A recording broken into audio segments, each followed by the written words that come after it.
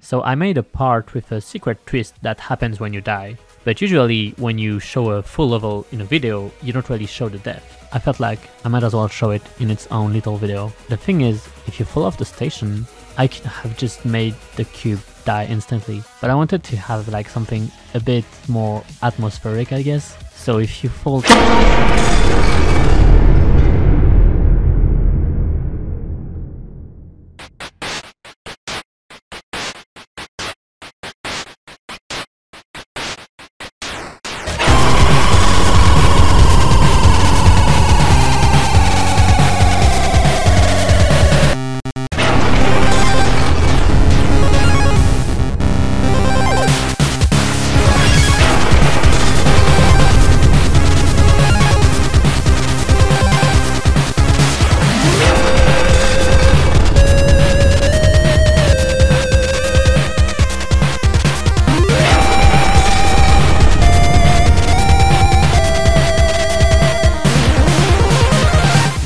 as you can see, the death effect kind of works on every part of this part. So even if you're in this ship, you can, let's say, just slightly move to the down.